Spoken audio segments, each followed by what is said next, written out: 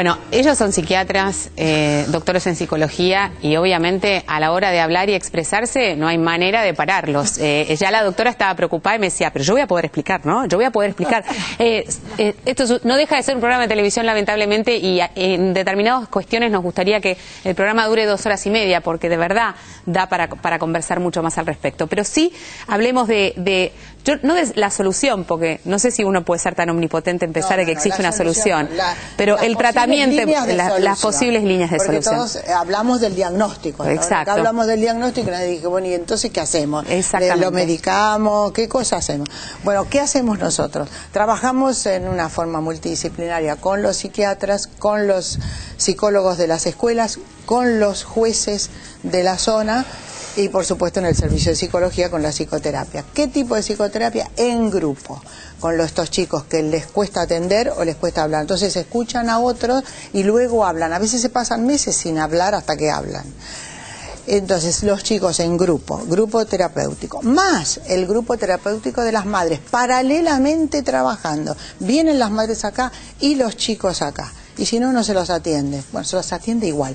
Pero digamos que la consigna es, si no viene usted, el chico no viene. Es el compromiso. Y es el compromiso. Y empezamos así focalizando sobre ciertos objetivos, que son o el trastorno de aprendizaje o el trastorno de conducta, para que se hable sobre eso más allá, lo que yo dije, lo transgeneracional y lo contextual, qué está pasando alrededor, para no entrar en otros detalles. Obviamente. Y empezamos con una, eh, con una reunión multifamiliar. Primero reunimos en grupo, por ejemplo, a 10 chicos con sus padres, todos juntos, y todos hablar del problema. Después los dividimos en grupos de padres y grupos de chicos, o adolescentes o niños, y después, los vol- después de 10 sesiones los volvemos a juntar a ver qué pasó.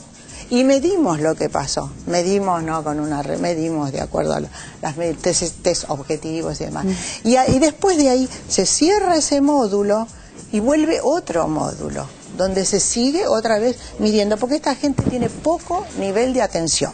Bueno, hablando, esto no debe ser el único método de tratamiento y No, el único este es el que posible, nosotros- digamos. Existe otro porque eh, eh, en este caso en particular la doctora nos presentaba una situación social también particular de, de- de un aspecto, pero debe haber chicos con trastornos de aprendizaje que por ahí no están involucrados en un contexto social eh, tan, tan complejo, pero que no dejan de tener este trastorno de aprendizaje. Bueno, lo que ocurre, a ver, para enfocar primero. Cortito y lo más resumido posible. Lo más resumido Para no es- quedar maleducada es- y no tirarle la copa por la cabeza y No, después lo- que me digan lo- a mí que tengo trastorno de, de.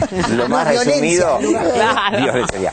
Lo más resumido primero es pensar que la biología no es la única causa de las cosas, que estamos Claro. hechos de tiempo, en tanto que somos seres humanos.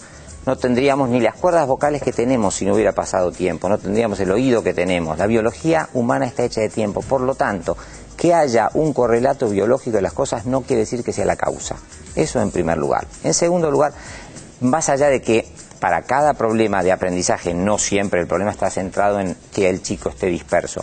Hay que pensar un diagnóstico que no es ADD. ADD, desde mi punto de vista y no solo yo, no es un diagnóstico, es una forma de clasificar chicos. Eso es lo que lleva a que, para mi gusto, se, pueda des- des- deshacer como categoría la ADD para pensar los síntomas que ese chico trae y trabajar sobre esos síntomas. Lo que creo que hay que tener muchísimo cuidado es con la respuesta medicalizadora en este sentido.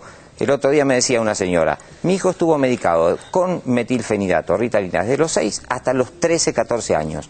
Le sacamos la medicación a esa edad porque ya no la soportaba, estaba igual que al principio, cursó una escolaridad más o menos aceptable, estaba terriblemente trastornado, engordó, se descompensó. Quiero decir, una medicación no puede servir para una cosmética del comportamiento, tiene que ayudar a intervenir sobre los síntomas y hacerlos abordables de otra manera.